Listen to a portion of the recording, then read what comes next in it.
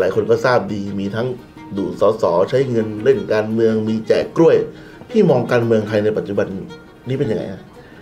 สมัยก่อนก็ก็มีการดึงก็มีการดูดอย่างนี้เหมือนกันครับ